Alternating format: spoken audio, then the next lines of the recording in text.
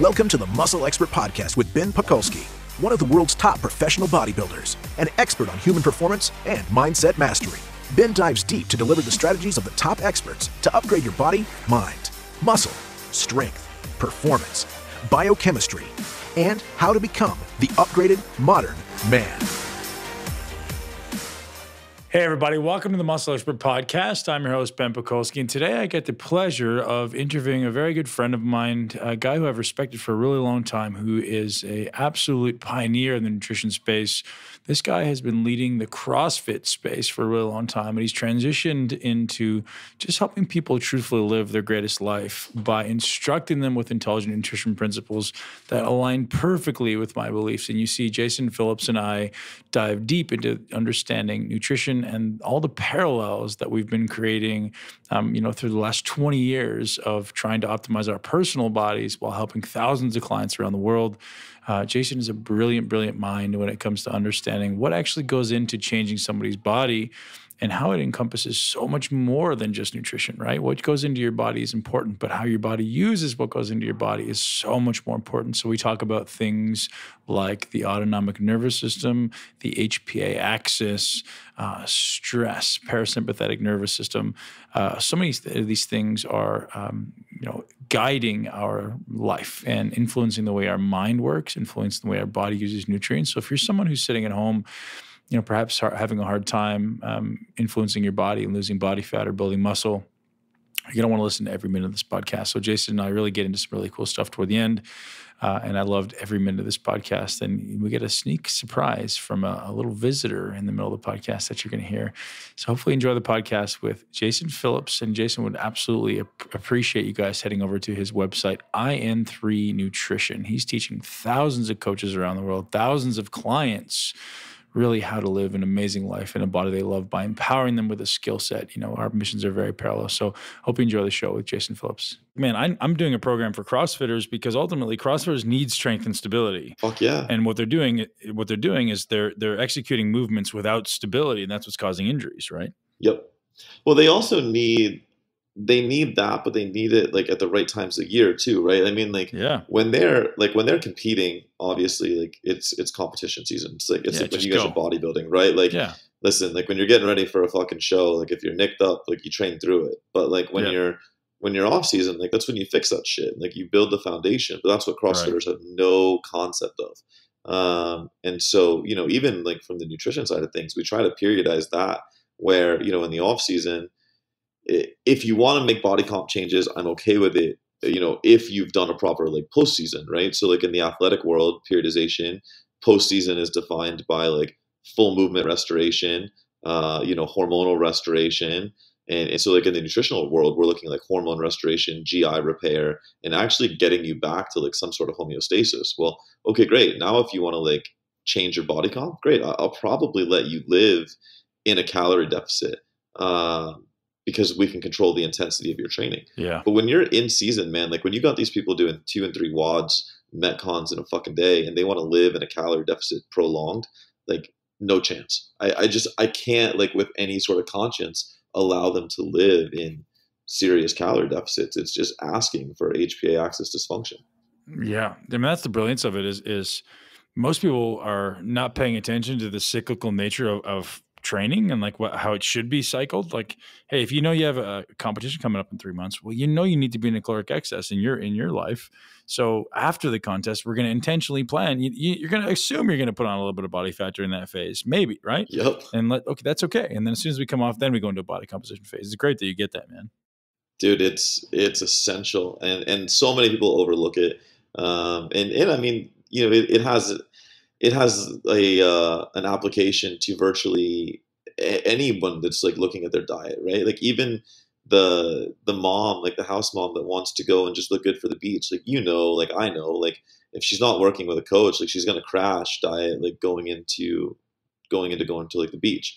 And so like coming out of that, like there needs to be at least some sort of maintenance restoration, if not a small surplus. Make sure that you're operating from some sort of like homeostatic balance, then it's like, all right, well, let's diet you the proper way this time. But there's there's got to be. I love that you said like a cyclical nature. There has to be like for every single person in every single walk of life.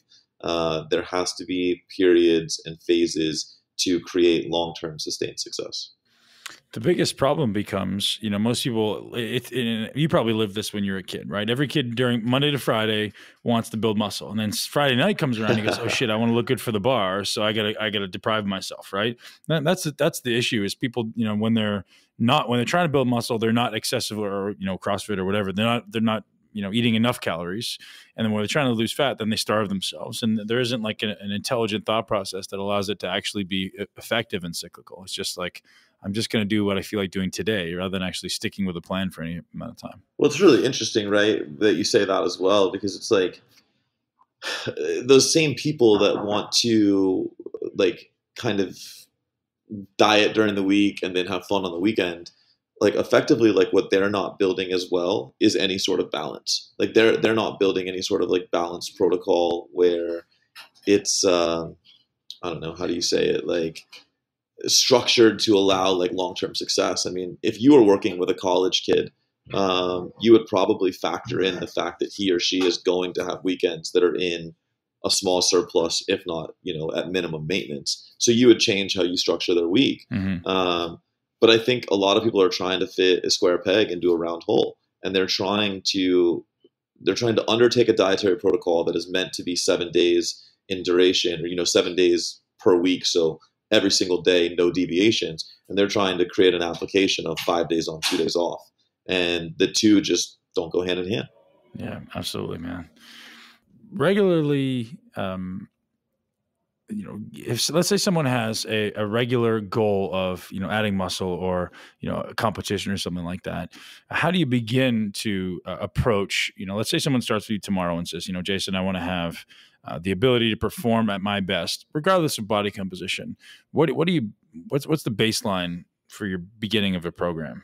And are, are, we talking are we talking athletic performance? Well, I guess that's an important question. Um, you know, my demographic I yeah. feel is is a more um, for you guys it's bodybuilding, yeah, right? Well, it's a more muscle building focus.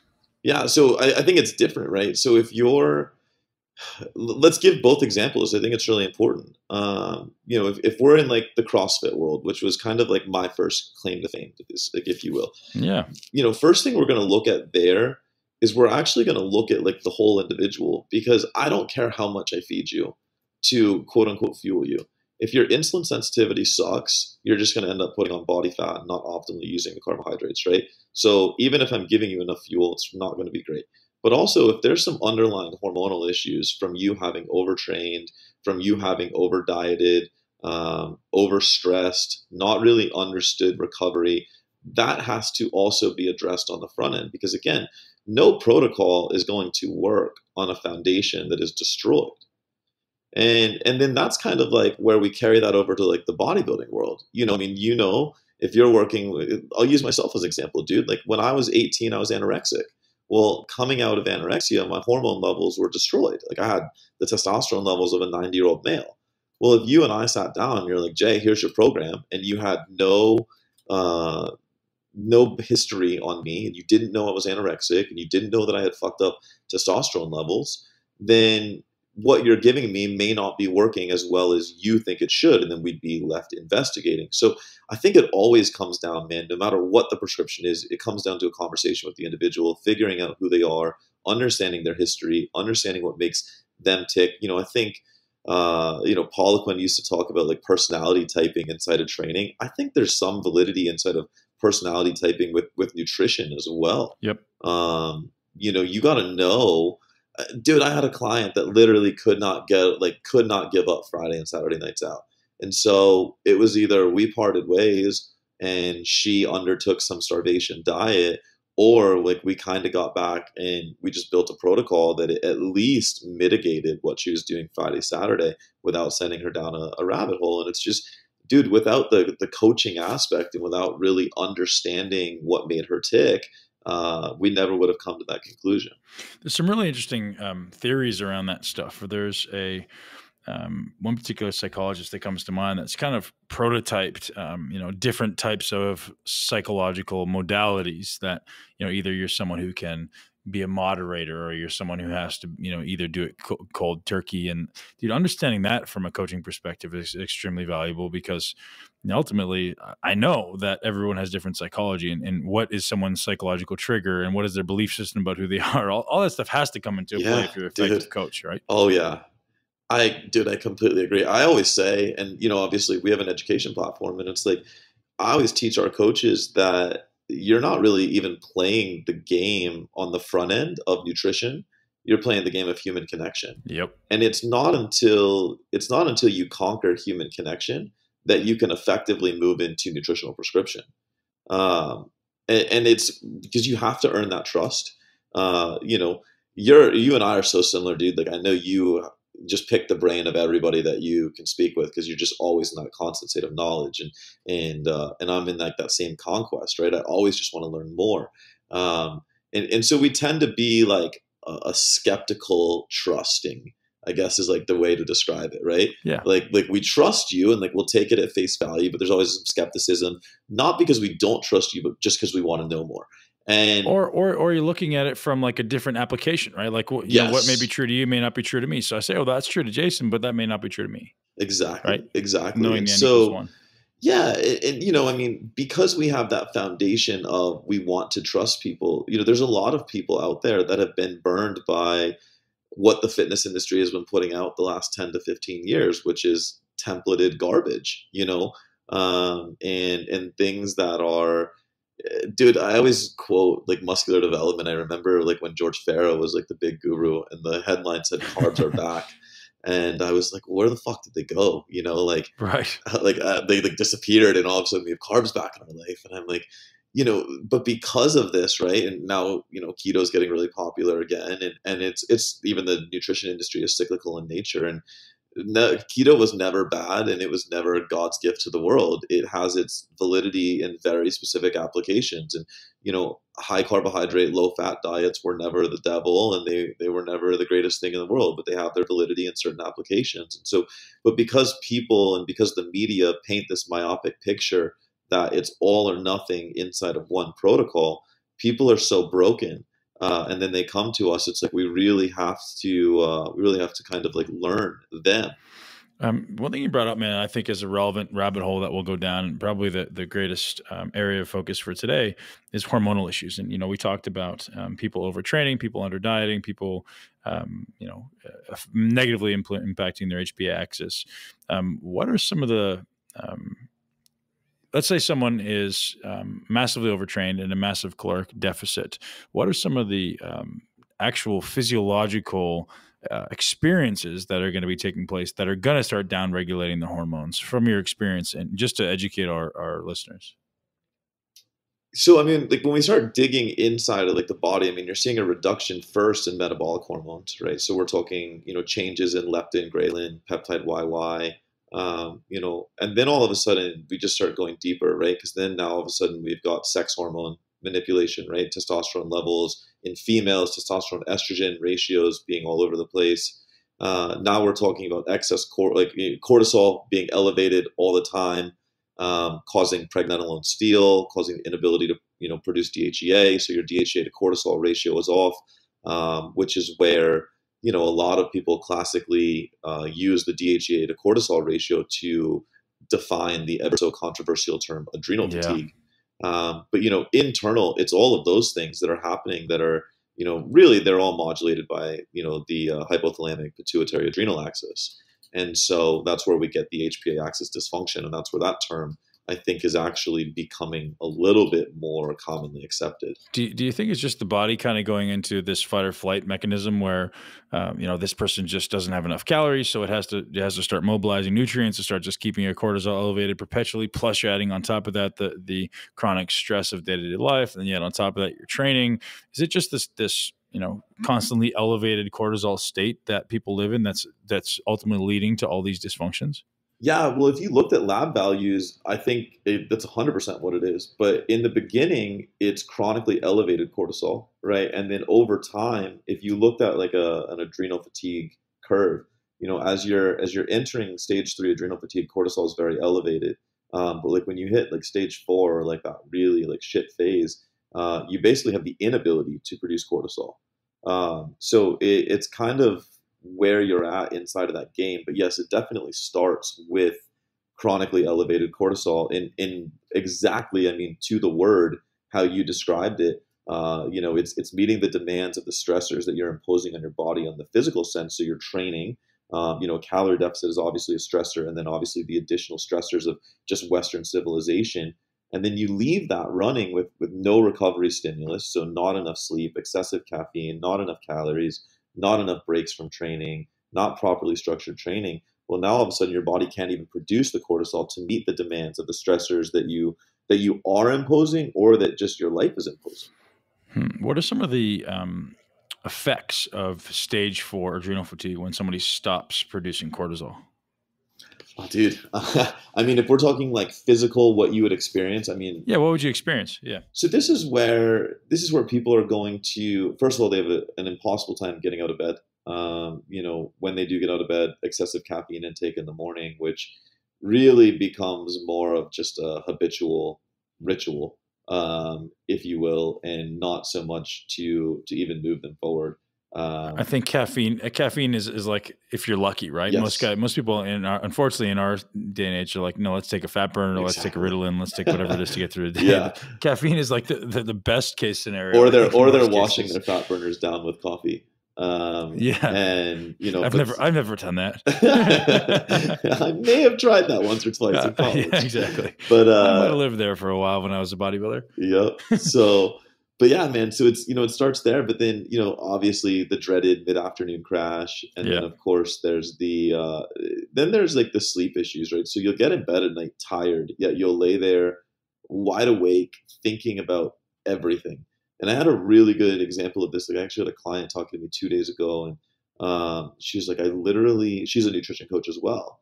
She's like, I literally went through all 50 of my clients and second guessed myself on all of their prescriptions because I was just so like overly anxious. Now, she's not really like in adrenal fatigue, but this is where she had just been burned for like 48 hours. Cortisol had been through the roof, inability to recover. Um, and so you start to see things like that, but on a day to day basis. So, you know, it's we call it tired and wired. You're tired, yet you you present yourself as being wired. So you have an inability to sleep. Your sleep is very fractured, um, and that's just like the surface level shit, man. But then you go deeper. You have an inability to focus. You have mood swings all over the place. You have no sex drive. You have no desire. Um, eh, no memories. Everything negative you can imagine. Yeah, I mean your memory is gone. Like anything negative you can imagine that's happening because again, it, it's all modulated in that HPA axis. Um, and it's just uh, I I can speak firsthand because I've been there.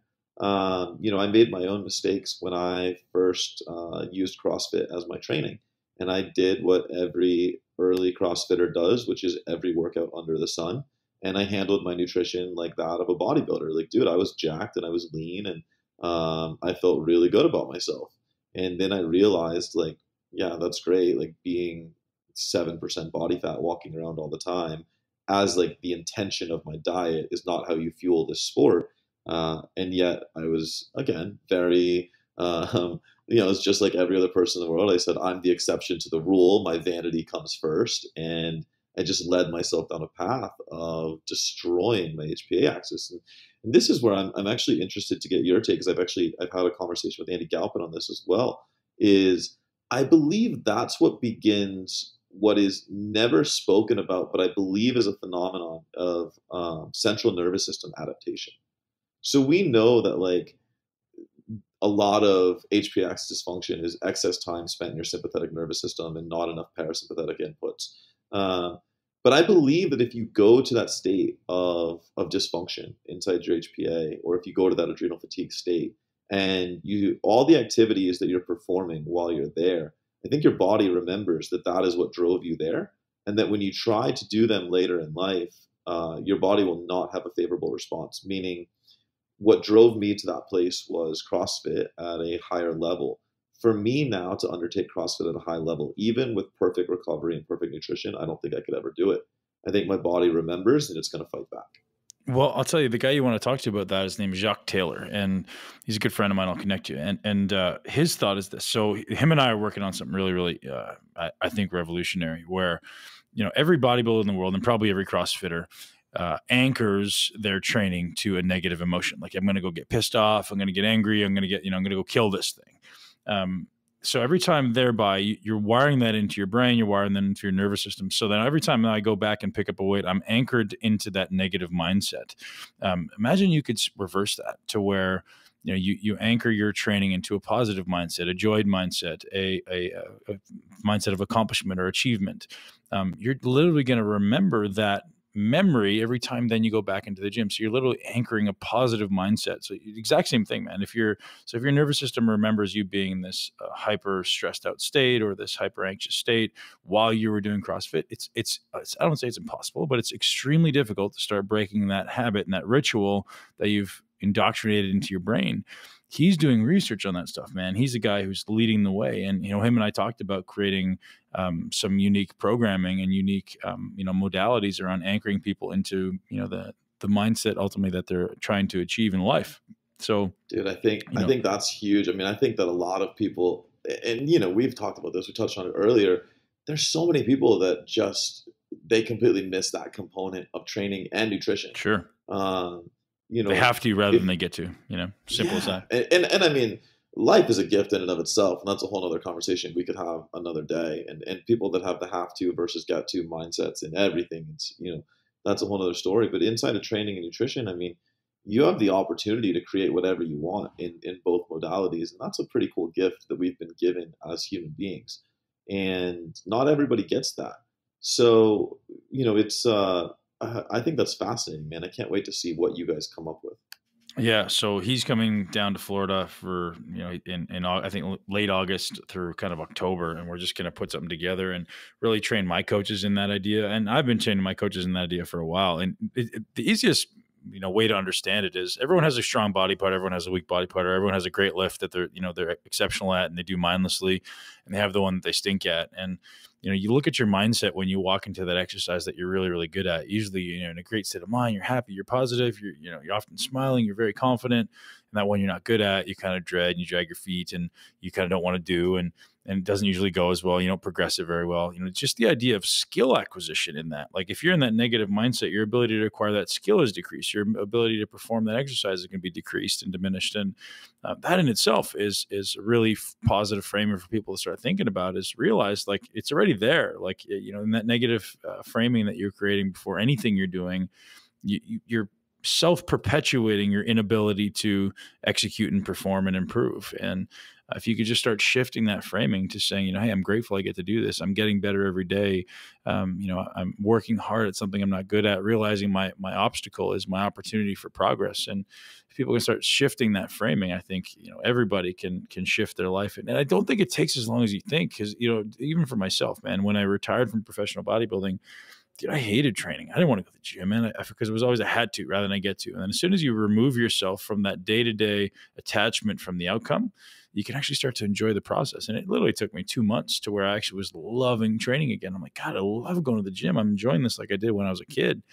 And I think anyone can make that shift, man. So, you know, you say I couldn't do CrossFit again. I think you could if you were removed from the outcome. If you just went in and said, man, I'm just going to have a great workout today. I wonder, uh, yeah. I, and I guess it's not that I couldn't do CrossFit, but I wonder if my body would ever produce the same level of output that it once that it once did, right? And that's where I well, you don't need to though. Like, but right? do you need to? Yeah, well, no. So I never will need to. You're right, and and I think that I there's been periods where I do still enjoy. I like you know I know that you guys have like the like the muscle building crowd on here, and and everybody will flame CrossFit, and I'll probably get flamed for saying it, but I, I honestly enjoy the I enjoy like the the group component. Now, listen, I'm not going to sit here and, and say CrossFit's great by any means because there's so many holes we can throw in the methodology and, and the way it's taught and and you and I are in full agreement with that. But I will say there's been periods where you know, listen, man, for me to to show up and just go through an hour and turn my mind off and, and be led through it was was great. Yeah. Um,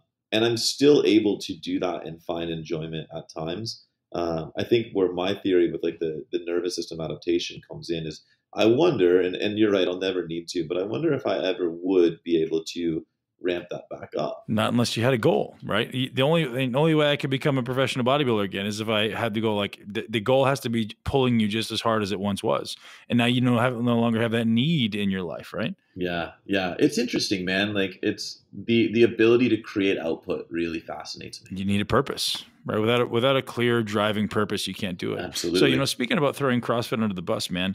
Uh, listen, bodybuilding is the exact same thing. You get monkeys in CrossFit, you get monkeys in bodybuilding. And when I say monkeys, it's it's monkey true. see, monkey do, right? I see somebody else Very doing true. it. I, I think CrossFit is you know uh, great, great, great tool for people who are uh, well trained, people who are really good at exercising, uh, executing movements. If you're really good at these particular things, it's awesome.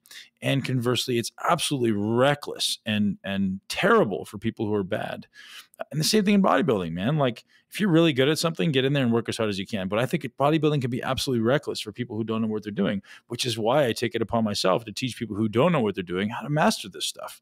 Like it's not rocket science, man. And same thing in CrossFit. There's got to be people out there teaching like perfect form for CrossFit. Like, stop screwing around. You're going to hurt yourself. This is why CrossFit's probably causing more injuries than it is good.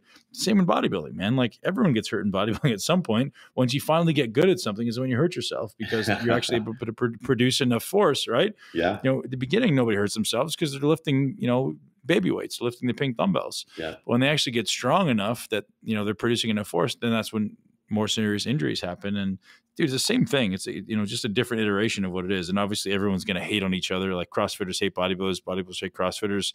Well, just like people who do keto hate hate vegans, and vegans hate keto. Like it's people just like to attach to what they're what they're attached to, right? So true, dude. It's so true. Like the closed minded thing always blows my mind because I. As, as I age and as I live inside of this space, like I think that the one thing that I really hold true is to be not uh, not accepting of application, but at least accepting of ideas and to do my own research and and you know create my own conclusions and create my own applications. Um, I think it's just so important that we do that. And today's podcast is brought to you by ATP Labs. We've just released a brand new product that you guys are going to love. It's called MyoPrime.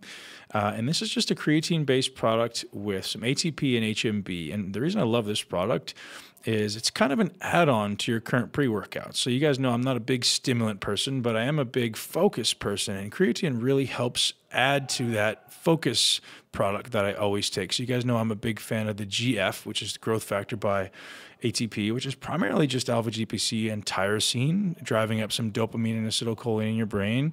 But if you want to add the pump factor and the cellular energy to that so that you can have the fuel you need to fuel your workouts, then I highly suggest you add MyoPrime. And if you think I'm cool, I think you're cool too. So if you use the code BEN10, B E N, and the number 10, 1 0, you get 10% off. Enjoy the podcast. Yeah, so let's pull this back around to talking about chronic over dieting because I know a lot of our um, our our listeners and a lot just are people who like are unsure like how much do i need to eat and do i always need to be in a caloric uh, excess or a caloric deficit or should i be cycling nutrition? And how do i how do i set up an intelligently planned out nutrition program so that i can actually make progress in gaining lean muscle feeling great and and being lean ultimately right? That's what everyone wants. Everyone wants yeah. to, to love their body. They want to feel great. They want to be lean. They want to be strong and resilient um, where does it start, man? You know, assuming people have a body composition goal, in your opinion, um, you know, where, where, does it start? Should it be a day to day cyclical thing based around your your training? Should it be a weekly cyclical thing based on you know your your current objective? Um, should you know where's, where's the jumping off point? I think it's I think it starts even before that, man. I think it starts with what you and I talked about earlier, which is a self assessment. Yeah. You know, I think that as as you just said, right, it's a weekly thing or a day to day cyclical thing around training. Well, there's two completely different people. If you told me that I had to do a day to day thing cyclically around my training, dude, I don't even know sometimes when I wake up in the morning if I'm going to get to train that day. Yeah, it's just the, you know, it's just the nature of yeah, it's just the nature of business development. It's the nature of having a family. It's you know, it's me. The truth is, it's me not making it a priority. Like I'll, yeah, I'll exactly. admit that. Yeah. Um, but it's also that's where I've chosen it to sit in my life currently. So if if you told me that I had to do that, it, I'm pretty sure that I would apply, I would misapply that um, because I would wake up some days intending to train. That would throw off, you know, any sort of nutrient timing I had planned, along with macronutrient consumption for the day. So the the first thing is like, who are you? What have you done? where are you currently at? So we could take two completely different people that want to build muscle, and you know, we could take a guy that's, you know, average college kid, 5'9", 200 pounds, uh, just put on his freshman 15, you know, a little chubby. Uh, if he's coming to me and he wants to put on muscle, I'm probably going to advise that we strip down a little bit of body fat yeah. first, uh, make him a little bit more efficient so that what we're putting on is quality tissue. Because, you know, like I know, I mean, you're not, you're never, unless you're using a ton of anabolics, and even at that point, only going to put on muscle. Like there's always going to be some body fat that comes with it. So if you're already starting with a base of, of body fat that is too high, you need to bring that down. Um, you know, or you could have me that was like the, the skinny anorexic kid that was a buck 18. And it's like, man, all right, well, seven days in a surplus for sure. So it's, uh, as much as I would love to be like, man, like there's one protocol that is amazing for everyone. There's not. Now, I think we could talk about what's optimal. Um, and I think that optimal, you know, I, I am a fan of, of using uh, like a cyclical base around training and non-training days because I think it's it's a great way to get precise. I am a fan of timing your nutrients appropriately.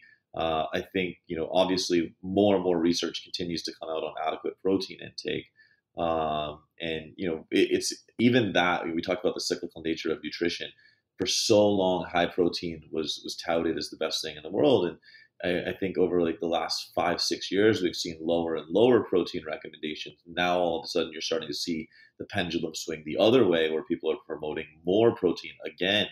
Um, and and you know research can be conducted to prove anything and so right. it's uh yeah. it's it's always very difficult to decipher what is great but you know i'll tell you this even even if tomorrow it came out definitively and it said two two grams per uh, two grams of protein per pound of body weight to gain muscle i would just have to accept the fact that i'm never going to be optimal because my gut is never going to digest that much protein. I've experimented with higher protein intakes. Um, it just hasn't worked for me.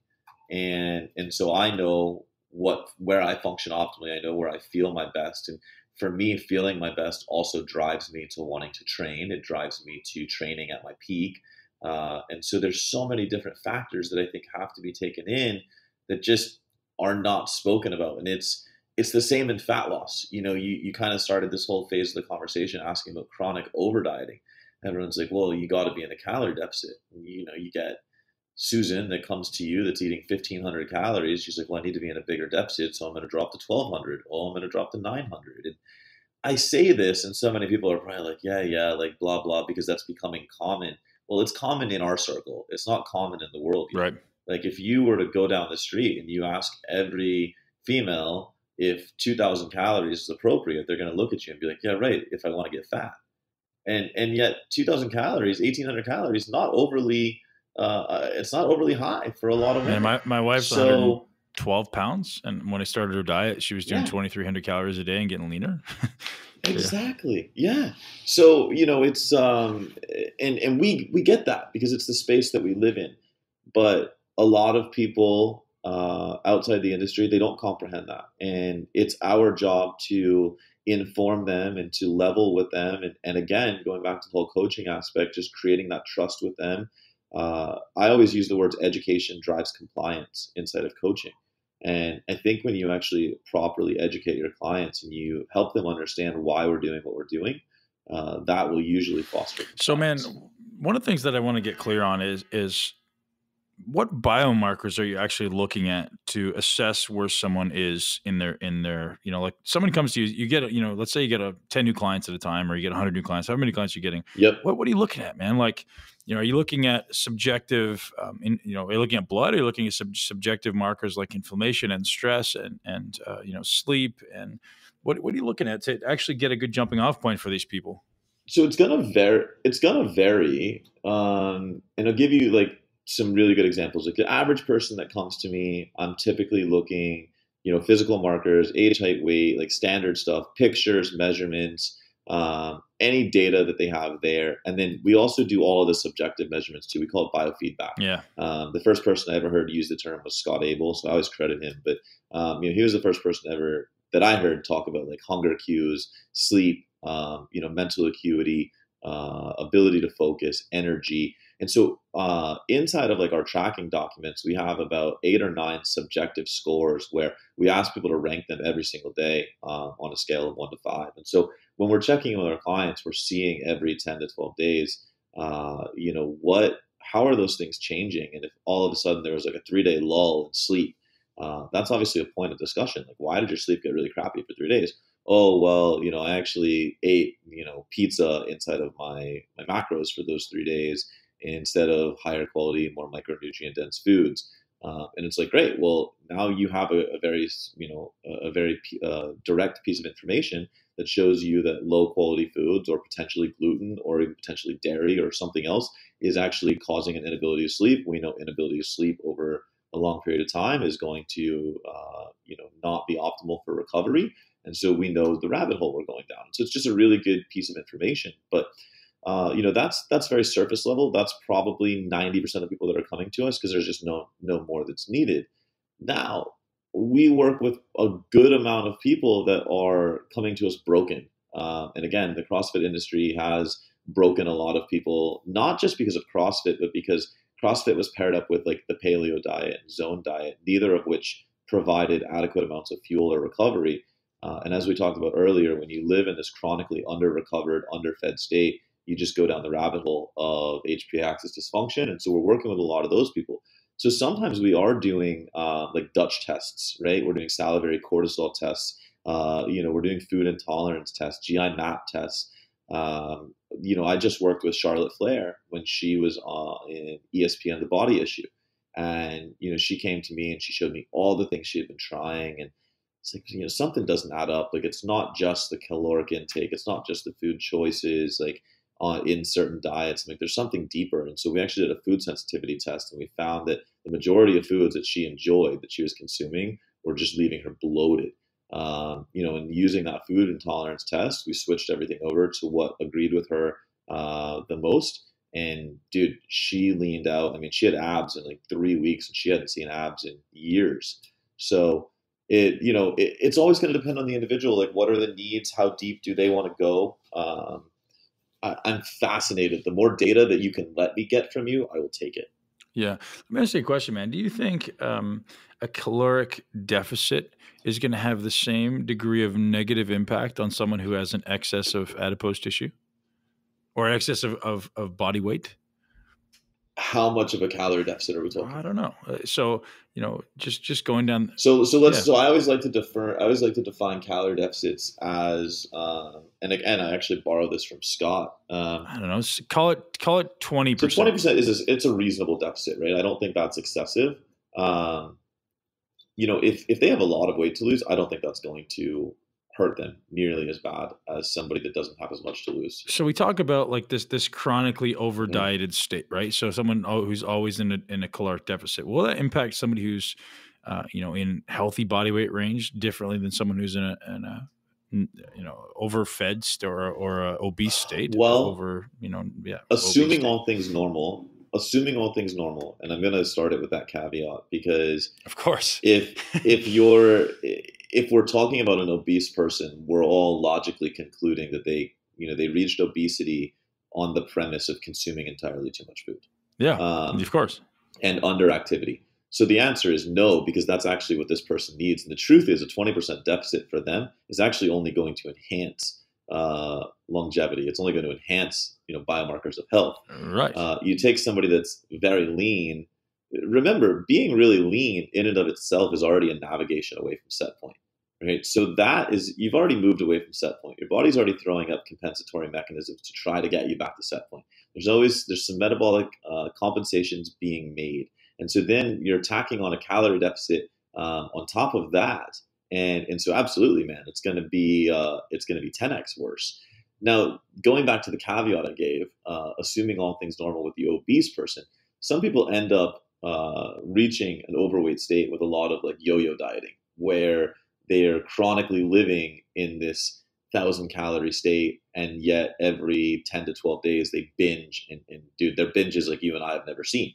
Um, Speak for yourself, and, man. And so that person, dude, I uh, I may not have. I don't know, man. I can't ever throw down. Like it, it goes back to the anorexic nature. I don't like feeling extremely stuffed. Yeah, but uh, I, I, have been uh, I've been known to know, have some cheat days, especially actually back when I worked with Scott Abel. Man, you know I work, I told you I worked with Scott Abel when I was like 19 or something, oh. and he would just oh. advocate oh. the most uh, just, just the cycle diet, uh, right? No, it was even before he invented the cycle diet. Um, it was it was just disgusting cheat days, man. I have stories, but we won't go there. Yeah, I did I did the cycle diet with him for the better part of a year, and I fair play. I was shredded, dude. I walked around with with shredded glutes like just every day, um, and and I had cheat days like it probably pale in comparison to yours, but I mean, like the start of my cheat day was I would go to Dunkin' Donuts, get a dozen donuts, go to IHOP, and get like an omelet and pancakes, and then wash it Sounds all down right. with a frap. And that was one day a week, and the rest of the week you just you, you were you were um, calories. You were clean.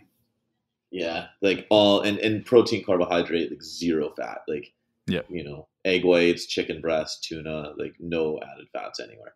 Um, right, and your your your body, like your, your blood lipids, were probably through the roof. Your blood sugar oh, was probably dude. destroyed. And uh, dude, it, anyways, we won't get, we won't get into health markets health doesn't matter if you look good, right? exactly. What does health matter if you look great, man? Come on, exactly, you get shredded glutes. That's all that matters. Right? Yeah, that nobody ever saw because they were covered up by you know like I was never getting on stage. It's just a fitness model thing. But no, it's right. Uh, but you know, Monday through Wednesday, your stomach was probably so distended and bloated you felt like shit, but your glutes were shredded. exactly. You know, when you're reco- well, when exactly. you're recovering from those those cheat days, man, you just feel so crappy because oh, your digestion is worst. The next day was the worst. Oh yeah, man! Trying to sleep that night, like uh, my head hurts when I lay down. if I can only sleep standing up. I remember it was it was meant to be the cheat days were meant to be on your your non training day. Right. And I would feel so shitty the day after cheat days that I started. I would train like 5 a.m. on Saturday and then do the cheat day the rest of the day. Right. And then take Sunday off of training because I knew I would feel so bad the day after the cheat day. Dude, I didn't want to talk uh, about this because people are going to think we're advocating this, and I just think it's the stupidest. I think it's the stupidest. It is. it's not. It is not how you want to approach a diet. Like, uh, dude. Uh, well, here we'll tie it into everything we just talked about because one of the things we talked about on this podcast is the mental approach to dieting, understanding who you are, understanding, you know, creating like a, and, and to be fair, like anybody with any amount of food issues should not undertake a diet like that. Uh, because all, and, and I don't know how it was for you, but it turned into me six days out of the week just trying to survive and trying to get through so that I could get to that seventh day yeah. just like gorge. And in the the emphasis from my training was lost. There was no progressive overload in my training. There was I didn't even care as long as I went in and got it done. It just it didn't even matter. Um, and like yeah, there's nothing positive that comes with that. I don't. I definitely don't want to come across like we promote that. I honestly think, speaking transparently, I think it still impacts me now, man. You've I've created such a negative. Or, or had created such a negative association in my mind unconsciously with food that you know food becomes a reward yeah. mechanism. When you start something like you just you just have to eat yeah. it all. Like if you know you can't just have one donut or you can't just have one piece of cake. You got to have all yeah. of them right? You got to eat till you're disgustingly full. And I, honestly i still i mean i don't think i fight with it now but i think i'm still aware of it now where when you know you start eating something you just want to eat it all. And you know this this gretchen rubin psychologist lady the person i brought up earlier speaks about um, you know there's different types of uh, motivations like different types of motivation styles. And she believes that some people are like these completion people like either all or nothing kind of people. I, mean, I don't know if I'm that person, but uh, I really think that at least during my bodybuilding career, it impacted my ability to, um, you know, just kind of ration myself. Like, hey, man, could you could you just have you know one bite of the cake, or do you have to eat the whole cake? Um, I think now I'm fine, but during my career, I think I definitely fought with that, man. And I think a lot of people have that issue when you start creating that that belief around like, oh, I'm gonna have to eat all of this food on Sunday because I want to get it all out of my house. No, man, like fuck, it's okay to have a cookie in your house that you don't have to yeah. eat. You know that that's part of being a human being. Exactly. So I think there's there's huge issues with that, man. Well, dude, it got it got popular again. Yeah, and, and that's the thing. I think people want to eh, people want to portray having a cheat meal in your diet as balance and and i'm not going to tell them they're wrong but i'm also not going right. to 100% validate them and tell them they're right because i've witnessed the psychological effects that go with having a cheat meal in your diet well, the cheat meal is not, one thing, but a cheat like gorge is different, right? Oh, dude, but you know, like I know, you've seen the fucking bikini girls that will, uh, like, they'll yes, wait for Saturday night and they'll be like, Saturday night cheat meal, guys. Like, let's eat like 10 pounds of queso, three burgers, and, and as much dessert and alcohol as we can fit in our mouth. And it's like, I mean, I I used to date a figure pro that, dude, I woke up in the middle of the night one night to her pacing around the room because she had stuffed herself too much, and I'm like, that's that's the mindset that it's perpetuating. Here's the thing that people don't see about that: they stink. Like the toxins oh, coming out of the, so bad, did you, right? Man, oh yeah, maybe they don't realize it themselves, but they just like the, the, toxins coming out of their skin. You're just like, oh my god, I don't want to be within fucking ten so yards bad. of you. Yeah. Yep. Funny. Yep. Uh, but yeah, so dude. so all you fitness but, girls out but there. So, but going back to the whole thing with yeah, it's a complete sidetrack. But um, but going back to like the whole thing, like on you know the obese person, putting them in a twenty percent calorie deficit if there's been some metabolic adaptations that have taken place, it's not a it's not a negative thing, but it's not going to be as advantageous um, as if they had reached obesity via what I think everybody is thinking that, that they reached obesity with. So speaking of our wonderful daughters, Jason, someone's just joined me. You want to say hi? Yeah. Why not? Hi. And this is my friend Jason. You want to say hi? No. No. No. no. If, if my daughter was here, you'd just hear her screaming. So hi, Mr. Jason. No. Why? Cause. Okay. He said hi to you. Mm, This is Presley. My my That's angel. awesome. Hi, Presley. Hi, Presley. Okay, you don't have to talk. We're talking about nutrition. Do you want to talk about nutrition too? mm, What did you have for breakfast this morning? uh, Did you have steak? I had nothing. What? Are You fasting? no, dude. fasting. what did you have for breakfast? Nothing. Nothing. Okay. What did you have for lunch? Lunch, grilled cheese. Grilled cheese? That's not normal for you. How was it? A grilled cheese. You did. Well, that's what happens when mommy cooks for you, cheese doesn't it? And avocado. Oh, grilled cheese and avocado. That sounds pretty good. oh, there you go. Get those good There you fats go. in there. And normally, uh, normally she wakes up and she's, you know, so what do you want for breakfast? I want steak and kale. Right? Nice. That's what my daughter. Aren't you? Yeah. get Then you, steak? you got to come train the kids at my house. Is that what they eat? Uh, they don't need steak and kale, that's for eat? sure. they get up and they're like, well, so mind you, I have, well, you know my situation. I have Yeah. three stepkids. Um, and they, uh, their eating habits are slowly being reformed. Although I, I'll tell you this, and this is a topic for a completely different day. Uh, that I won't say they have behavior issues, but I will, I will also level and say their behavior is not Yeah. optimal. And it, I believe a lot of it has to do with uh, microbiome. And whenever I'm able to prolong sugar being out of the house, we see behavioral One improvements. thousand percent. Uh, and so it's Yep. Yep. And so it's something that like it- you know it's a it's a bit of a battle in my house um, because I'm I am obviously advocating. Listen, we need to remove as much sugar as we possibly can, and I, I try to respect the fact that they're children. Dude, that, that's not an excuse though, right? I, I, I'm against that excuse. Like people I are agree. like, "Oh, but I kids; they're supposed." to. I'm like, no, no, no, no. That that's the opposite, man. You're, you're destroying their lives. Nobody nobody was supposed to. like that's not that's not how we were born into this world. But uh, you know, I, I I try to have respect for how they were brought up, and obviously, again, they're not they're not my children. I'm their stepdad, and, and so, but it is rubbing off, and it is slowly working. Uh, but that's yeah, I that's something I'm big on, man. Is is controlling the microbiome, especially in our, our youth, and creating behavior. Yeah, and, and honestly, I, I don't claim to know what foods are good and what foods are bad. You know, like how can how can you just typecast and say, well, that food is a bad food? We know sugar is bad. We know anything fried is going to be bad, like trans fats. But I try to give them variety, man. I try to give them choices, and and I don't make you know, no food is is like a, you must eat this food kind of thing. You know. Uh, but at the same time, it's also going to be always based around whole foods and trying to minimize the amount of sugar they consume. And I try to give them balance, you know. So if we're eating a meal, you're going to have carbs, you're going to have fats, you're going to have you're going to have proteins, and you, you're going to eat all of them, you know. At the end of the day, um, but you know that's kind of how balance works around my house, and they just choose what what's their favorite. And you know, my daughter just happens to be the one who, since she was six months old, has been sitting on my lap and eating steak and you know my bodybuilding diet, my my beef and my avocado and my olive oil and my sea salt, and that's kind of what she eats every day, man. And, and she that's what she's grown a taste for. Now my son, on the other hand, is a whole different ballgame, but we won't, we won't get into that. Um, but anyways, man, coming pulling this back full circle, how can we help people ultimately start to understand what needs to happen to to create a successful nutrition plan for themselves?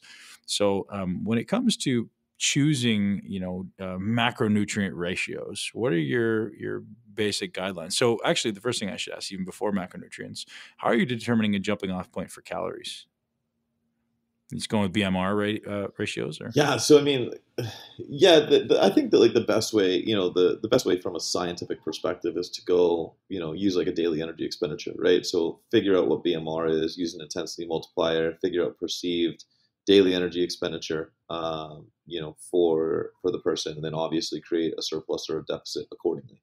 Um, I think that's the best way to go. Now, I'll, I'll say that a bit tongue in cheek and, and see, you know, obviously, if you could get a prolonged food recall from a client, see like what average intake is over a period of time and how that is, how that has been affecting them. That's obviously really great data as well. Um, so I think that's uh, that's usually where we like to start relative to calories. From there, uh, you know, the macros are going to be divided on on several different things. Obviously, there's a lot of research, and, and there's a pretty definitive study that says, you know, assuming uh, that caloric intake was set up properly and protein intake was set up properly, uh, your ratio of carbs to fats really does not matter uh, in terms of actually creating fat loss. It seems that way, right? Right, and and that's what I mean. That's what research says, and so. I'm going to look at a lot of things. You know, I, I think Poliquin, you know, he, he coined the phrase "earn your carbohydrates." Um, if you've got a, a, pretty high output throughout the day, uh, I'm not going to tell you that you should be living on relatively low carbohydrates and they have to be timed around your training. You know, construction worker, for instance, probably not going to be ideal for them. Um, that being said, you know, myself, I do fantastic on carbohydrates timed around my training because you know my job is is coach and it's uh, to lead my business and so, you know, sitting uh, sitting at a desk and at a computer and being on the phone really doesn't require a ton of carbohydrate in my diet. So I, I have better cognitive function with uh, you know higher protein and fat intake, less carbohydrate, and it being structured around my training. So you know we're looking at things. What are the modality of your training? Uh, what is the energy systems involved inside of your training? Um, and and then we kind of then we kind of break it down from there. But it's always going to be done calories first, then we set protein intake to be adequate, uh, and then we figure out based on your activity level, the modality of your training, and also your dietary history, because uh, you know success leaves clues.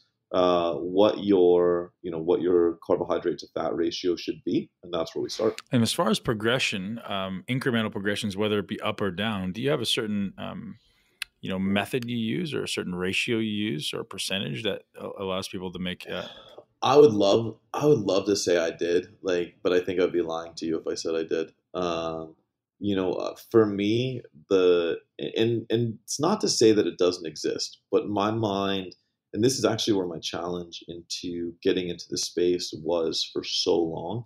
My mind is very myopic. Like when I work with an individual, I work with the individual. I try not to think about what I should be doing. I try to really look at the situation presented to me in front of me and say what needs to be done in this situation to optimize this situation?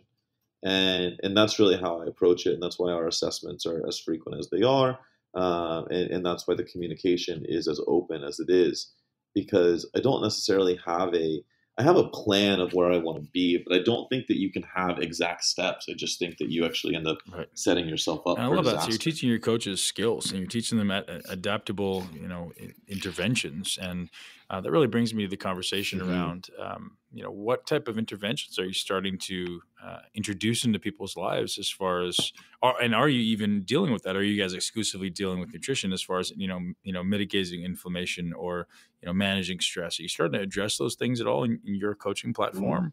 Oh, dude. So I don't know if you're familiar with Christian Placencia. He's uh he's the durability guy on it.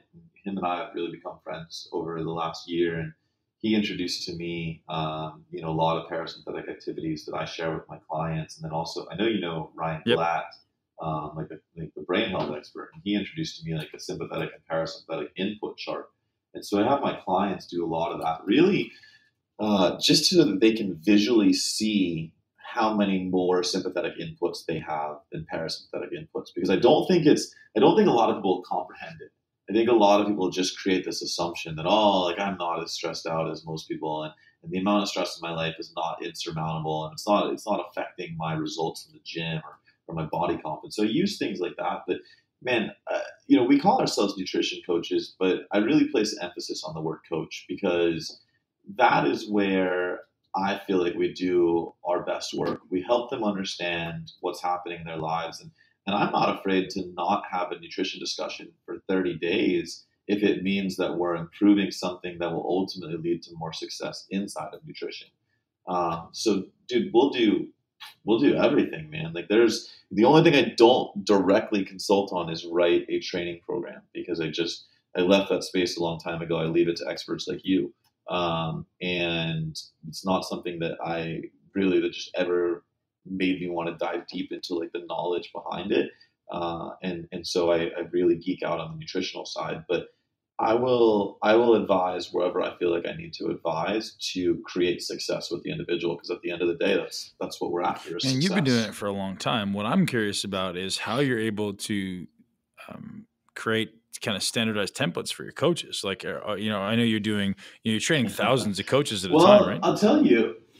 Yeah, I'll tell you, we don't though. Like, and, and maybe that's why. Like, we don't actually create any sort of templates for the coaches. I think what we do instead is we teach them how to create nutrition. So, you know, our process is really helping helping our coaches understand assessment and subsequent application. And, and I think that's why why we've been able to have the magic that we do is our coaches are, are just, you know, they're me six years ago, you know, when when I was doing tons and tons of coaching.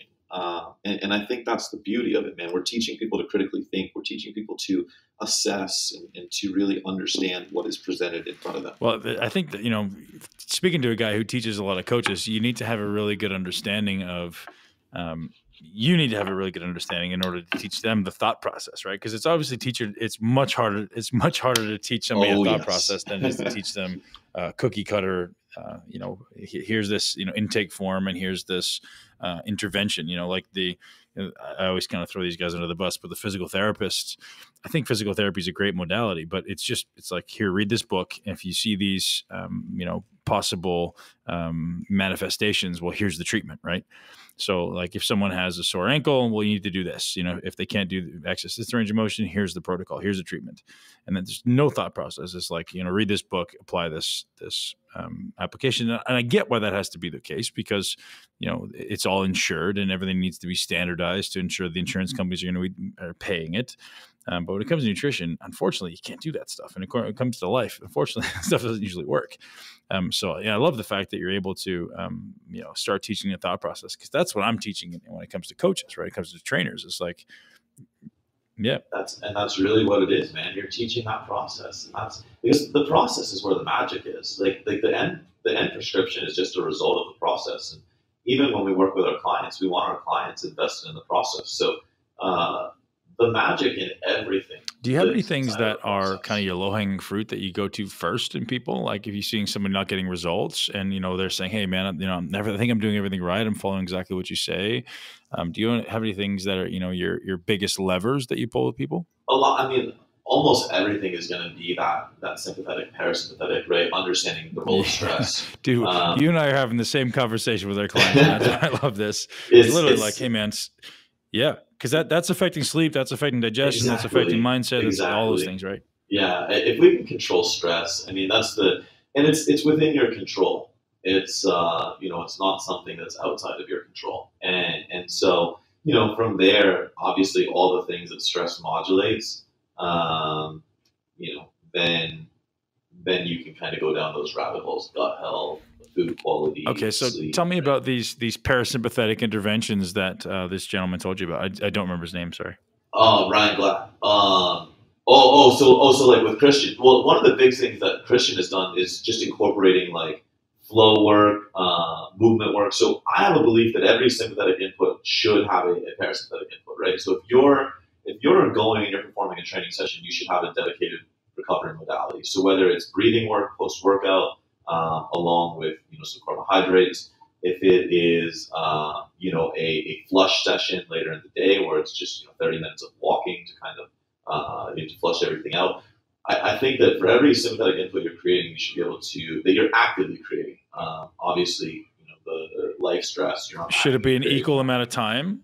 No, I don't think that the time has to be equal. Um, like I don't think you're going to be able. I, I, think at that point, if you're training sixty to ninety minutes, uh, I don't think that you can pull another sixty to ninety minutes purely to to recovery. Um, I, at least not in my experience, man. Like I wouldn't, I wouldn't require that of somebody. Do I think it would get great results? Absolutely. If you could do 90 minutes of intense training and, uh, you know, then do like 90 minutes of, you know, some like some yoga, um, or, you know, some sort of like very parasympathetic type movement, that would be fantastic. I mean, even jumping in a sauna, right? Or sauna combined with a cold shower. Yeah. And yeah, contrast therapy, post workout, yeah, anything. And, and, there's so many parasympathetic inputs, but the problem is everybody wants to understate the sympathetic and they want to overstate the parasympathetic. So they're like, oh, well, I train. Well, I'm used to training all the time. So that, you know, that must not be that much of an input. Oh, and I get a massage like once every two weeks. So that must be a really good parasympathetic input. It's like, if we were assigning numerical values from one to 10, you know, you're training on a day to day basis I don't know what your intensity is, but you know, when you were at your peak, it's probably eight or nine. And, you know, a massage every two weeks is probably like a two or a three. And so you're still getting way more sympathetic input than parasympathetic, and you're still leading down that rabbit hole of excessive stress. Yeah, absolutely, man. Now, now, since having left bodybuilding, so the, the the curse of of being in the sport is you know, as we spoke about, this daily attachment to the outcome. And I, you know, every day had to be a world class workout. Otherwise, I was angry with myself. You know, if I wasn't like leaving the gym like I had my head smashed yeah. against the wall, I didn't feel like I had accomplished anything. And and since having been able to leave bodybuilding and and um, you know be able to step back and just kind of look and, and observe and, and watch other clients and other other people that I'm training, you realize the importance of of the parasympathetic and how much more you could actually get out of the training session had you actually you know to use the brakes a little bit more, right? Rather than always living on the gas pedal, use the brakes a little bit more, just allowing you to you know actually get more out of your workouts. I train so much less now and I feel so much better. And I'm, you know, my strength probably honestly hasn't dropped at all. Yep. You know, obviously, my my hypertrophy has have dropped a lot because I'm I'm not eating a fraction of what I was before. But uh, dude, my strength is just as good as it was when I was competing, and that's a you know a, a result of my taking care of my nervous system, my parasympathetic nervous system. So so interesting to, yep. to acknowledge all these things. Yeah. It's it's huge, dude. Yeah, it. And well, and you know, I mean, you're when you're an athlete or you're type A and you're like in the moment, like you you think that you're you know we have this mindset of we're going to outwork everything. And we're you know we're just going to work and create the results instead of do what is necessary for the results to happen. Well you also have the stress of, of you also have the stress of, of like hey i have to perform. Like i was getting paid. And like shit i don't want someone to take away my contract. Someone's going to take someone's going to beat me. Like no no no. I have to go out and i'm going to work hard on them. And that, that's the, that's a you know a paradigm in this industry that i try to get people away from is you know, hard work is is not the answer, man. Like, you know, so the way I teach exercise, man, is internal versus external focus, right? So, um, you know, if you have an external focus, you're attached to you know how much you lift, uh, how many reps you did, how, how much weight you did uh, all, all, these you know what exercise it is that's an external focus. And you know that that paradigm is created in youth in in sports meaning like the more goals you score the faster you run the higher you jump the better you do. So that's an external focus that people attach to an exercise. With bodybuilding and muscle building it has to become an internal focus. It has to become something around like hey what is my what's happening on the inside of my body? So i'm using i'm using this external um, mechanism to create an internal response. So I want the muscles to grow, or I want the, I want my you know, body to burn fat or whatever it is. Uh, as soon as I was able to to shift that focus from the external focus to an internal focus, I kind of lost attachment to how how it needed to happen. I didn't necessarily it didn't need to be a specific exercise or a specific number of sets and reps and set, uh, and volume. It's just like no no no. I just need to create the greatest amount of intramuscular tension and uh, intramuscular stimulus as possible. And then all of a sudden I started doing that. My body started changing really fast with way less work. So it's the idea of working much harder, or sorry, much smarter before you ever work hard, right? You know, working smart and directing the the work where you want it to go rather than just arbitrarily working hard, which you know is the curse because the objective in training whether you know if your objective is creating a great body composition your objective should be creating the the largest amount of muscular stress with the smallest amount of systemic stress. So i don't want it, my my whole body to be you know stressed and inflamed from this workout. Like I, I want to have a laser focused, I want to have a precise stimulus to like I'm training my biceps. Well, if I'm training my biceps, I want to create the greatest amount of bicep stimulus with the smallest amount of systemic stress and, and stimulus to the rest of my body. And most people to do that, you know, they're going to have to to to get their biceps to grow. They're doing so much work that uh, because the form sucks and the muscle's not actually doing a lot of work, they're creating so much work that their sympathetic stress from that workout is going to override the muscular Yep, building. Exactly, dude. And, it, and it's that it's that chronic stress with the inability. You know, at the at the fundamental, at the core of everything that we do, right? It's you're intentionally creating stress with the the desire to facilitate adaptation, right? You want to create an adaptation to that stress. Yeah, exactly. So you know, hypertrophy, you're breaking down muscles, trying to like regrow it a little bit bigger. And strength, you're you know you're imposing a load, and you want to progressively overload. And you know, even in fat loss, like you're imposing a calorie deficit, which is stressor, and the adaptation would be fat loss. And so when you lose the ability to create adaptation to that stressor, you're done. Uh, results will no longer happen, and and really that's where you start pushing towards all these negative things that we've referenced uh, inside of the HPA axis dysfunction. Yeah, and, and that's a beautiful thing to get people to understand is it's minimum effective dose to force adaptation, right? Because ultimately we're always going to have to incrementally move the needle just a little bit further, just a little bit further. But the objective is not how much can I possibly get away with; it's how little can I possibly do to have to actually get this novel stimulus and this novel adaptation response. Exactly. Yep. Beautiful, man. Absolutely love it. What are your uh, just like one more question I want to dive into um, post workout Yeah. recovery strategies? Um, so we get a lot of people who are, you know, let's say someone is, you know, living this life of this chronic sympathetic stress. Um, how are you um, beginning to, you know, you talked about this breathing, uh, you know, this I thought I was the only person saying that. It's funny that you say that. Like I make all of my clients do five minutes of meditative breathing after every workout. Yeah. I'm like, man, you, you got to take yourself out of sympathetic and get yourself into parasympathetic as quickly as possible. What other strategies? And you, you mentioned carbohydrates. Um, tell me about you know what happens after a workout and how I'm getting my body as quickly as I can out of sympathetic into parasympathetic. So what's happening is like you know when you're when you're inside of training. I mean, you know, like I know you're in that sympathetic nervous system state, and that's defined by an elevation in cortisol. Uh, and you know, ultimately, post workout, your body doesn't know just because you left the gym that the workout is over, right? It, it's like it's not like you know in a CrossFitter. Your body's like thinking the you're in a war, right? Your body, your body's in panic. Yeah, it's still fight or flight, dude. It's still running from the bear. And so, you know, by you taking that time to do that breathing, you've now calmed it and you've let it know that the war is over, or the bear is no longer chasing you. Um, you know, we we also have seen some studies that show high molecular weight carbs uh, can help you know blunt the cortisol response. Um, so you know, in like, like with CrossFitters, before they do their breathing work, I'm having them take like a cyclic dextrin product, um, and you know, really any post workout recovery. But the goal is to create that cortisol shut off because cortisol is powerful. Remember, you know, we talked earlier when you can't produce cortisol, that's the real death. Um, cortisol is definitely powerful inside of training. You need it to really produce optimal uh, performance, but you can't prolong the exposure to your body of having elevated cortisol, or that's when you know again you start running on chronic cortisol, or long term you have no cortisol. Very interesting, man. And listen, I'm so grateful for you having that conversation because, you know, ultimately we need to change the paradigm of the fitness industry and we need to be leading from the front because the reality is we're probably 30 years behind where, where we should be because people should know this stuff. It's so it's such basic information, but nobody thinks about it. And more importantly, nobody realizes how valuable it is in their progress. Most people think, hey man, I just need to work harder.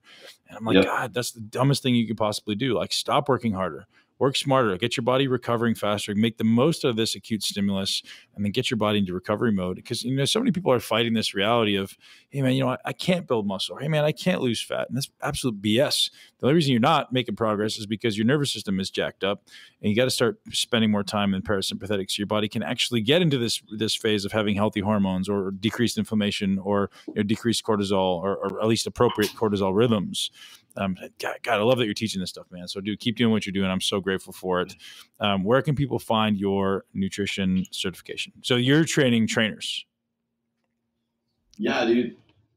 Yeah, so we're, we're coaching coaches on, on how to do this. Um, that is inside of the Nutritional Coaching Institute. So NCIcertifications.com uh, is the website. and that will um, you know that'll get them all the information on the upcoming courses you know we have like a level one course we have a hormone specialty course we have a mindset specialty course. Obviously you know as people just listen to us talk for you know a little over an hour they understand that you know we both strongly believe in the role of hormones but also the role of mindset into creating results. And so you know being able to dig into the mindset of your coach is important. Uh, you know we have business resources on there as well. So um, yeah ncicertifications.com is the place to check that one out. Um, and then just for you know for more on me, it's just the in3nutrition.com. That's the coaching company that I own. Um, and they, you know, obviously they can hit me up there anytime with any questions around their own prescriptions or, or prescriptions that they're creating as well. Happy to answer. Right. Those. So you're you're training people to be coaches, and you're also coaching people in their nutrition day to day. Yes, sir. Awesome, man, dude. You're doing awesome stuff, and I'm truthfully grateful for our friendship, man. So for those listeners that don't know, dude, yeah, I'm so humbled. Oh, thanks, like man. People don't know, like I, I, get to geek out a little bit on your podcast right now, but like I was I was a Ben Pack fan for so long, thanks, and like I I remember, dude, like when you worked with Hany, I had actually kind of I was doing some work with Hany too, and I was like, oh, like I told Hany, you gotta introduce me, and I like I I ran into you at a show in Florida, and you were like the nicest guy in the world. And you, I mean, you definitely have zero recollection because you met 10 million people, but like you're the nicest guy back then. Like you, I don't know where was the shot, dude. I definitely remember meeting you. I just remember it was at a show. You were with some. It, it, wasn't a show. I want to say it was the Tampa show. Uh, you were with the company that didn't it didn't last long, but like they had like that shaker where it was like a pre workout on like one half and like post workout. Well, that would have been the 2000. That would have been the 2010 Tampa Pro. That's probably no, yeah, because I was. competed there in 2009. Yeah, that's also So- the show where I met my wife. There you go. Um, but yeah, man, that was a big show, man. I met two important people in my life. so that was the first time, but dude, I always was a fan and just been really humbled and, and like you know the more that I get to converse with you and see like how just aligned we are in everything, man. I'm so grateful, so humbled, and, and just really, really appreciate everything you're doing, dude. Um, the world needs the intelligence piece. I love what you're Thanks, man. And so so you can get behind my movement because I know you've got a huge, huge reach, and I often have just begun talking about this on my podcast. I mean, I, am getting behind the um, the uh, the movement to remove single use plastics from our day to day life. Like, I'm going to be the guy who's going to be like crazy OCD about not using plastic in my life, and I'm I'm trying to. It's a big shift, man. You realize that you just look around and there's plastic everywhere. So, particularly single use plastic. So um, you know, I, my supplement companies are all going to be uh, eliminating single-use plastics. I'm removing it from my day-to-day life, so no water bottles, no Tupperwares, uh, even when uh, insofar obviously plastic bags is a big thing, but even insofar as like paying attention to what I buy at a grocery store, you know, if you have the option between buying a glass and, and a plastic, I'm buying I'm buying glass because uh, dude, I don't know if you're familiar with the Pacific, you know, recycle or the Pacific plastic patch in the Pacific Ocean. It's ridiculous. So look it up. And, uh, you know, I like to give a little shout out to this thing on every podcast. And I know you have a huge reach. And, and, and if you look it out, if you look it up, it'll, it'll, you'll, you'll know what I mean when you say like, we, we got to make it. I can tell you, like having been out in California several times lately, man, there's a big movement. So I'm going to dig more into it. And, uh, I will I will pay that forward, my man, and make sure that goes out on man, my podcast there's, as well. A, so garbage deposit of plastic in the middle of the Pacific Ocean that, that is minimum the size of Texas, but maximum the size of Russia. And that's subjective because it's always moving, but that's obscene, man. And like, I didn't know that until maybe three months ago. And like, I can't let my kids take a world when I leave that is worse off than when I got here. Like we got to fix this. And so, so with my supplement companies now, uh, all two dollars of every purchase is going toward donating to cleaning that up. I'm getting away from plastics altogether with the companies. We're going to switch over to you know uh, recyclable materials, or not even recyclable, but you know things that actually are compostable or reusable. So getting away from this damn yep. plastic stuff. Yep, I love it, dude. Well, I will. I will pay that forward. I will. Uh, I will look into it. I mean, I'm out here on the West Coast now, so I'll look more into it. But um, man, I, again, like I, that just shows, dude, like where you're at and like paying it forward in a cause like that. That's dope. Like that, that says everything anyone needs to know about you. Thanks, man. Dude, I appreciate you, man. I'm, I'm so grateful for you coming on the show, and so are our listeners, man. So let's connect again soon. Always, brother. You got it. Join us on benpakulski.com to learn the cutting edge techniques to take control of your body, your brain, and create your greatest life.